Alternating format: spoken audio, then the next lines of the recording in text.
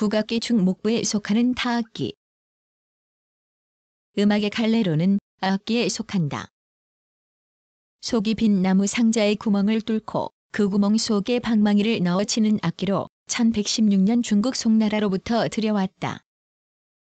이후 어와 함께 문묘절에 종묘절에에서 사용되고 있으며 죽은 음악의 시작을 알리는 악기로 동쪽에 어는 음악의 끝남을 알리는 악기로 서쪽에 놓는다. 악기는 정육면 체이면서 위쪽이 조금 넓은 모양이고 윗면에는 구름을 옆 사면에는 산수화를 각각 그려놓고 있다.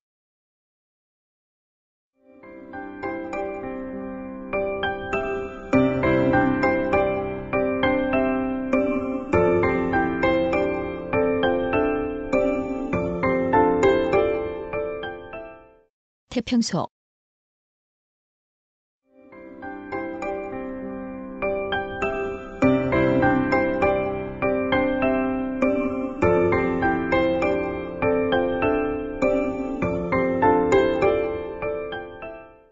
국악기 중 목부에 속하는 관악기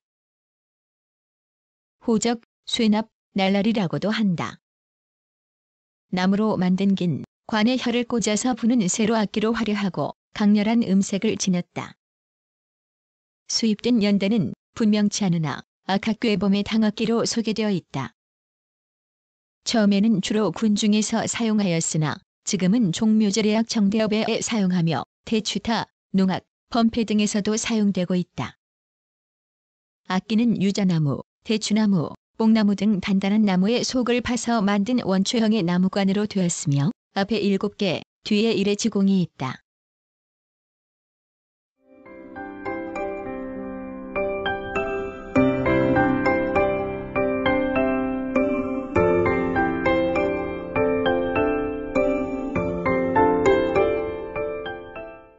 구성, 나그네의 구석구석 여행. 낭독, 글 읽어주는 고지혜. 들어주셔서 고맙습니다.